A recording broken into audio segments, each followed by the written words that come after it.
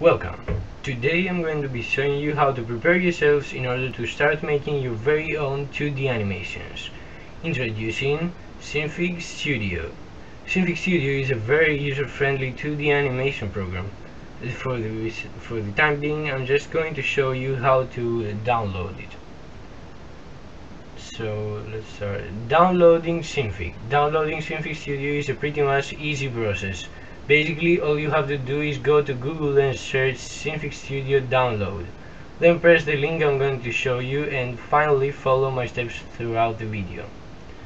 Uh, okay, so let's uh, all just open our Google and search Synfig Studio download as I already said and then press this link which is also the first one uh, then down the download button below uh, it's asking you for a price just uh, but it's a free program so just write zero.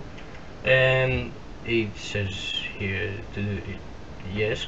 Anyway and so depending on your Windows uh, uni or your Linux uh, or anything or basically depending on your computer's system software it tells you here what you choose. Uh, that's up to you. Uh, if you're using Windows 10 like I am uh, you you will probably need to use uh, Windows 64-bit then press get synfig and uh, when it loads this will appear. So you need to enter your email and then press continue in order to download it so that's pretty much all you need to do in order to download this program and see you next time when I'm going to be showing you how to make your animations or how to use all the tools. And goodbye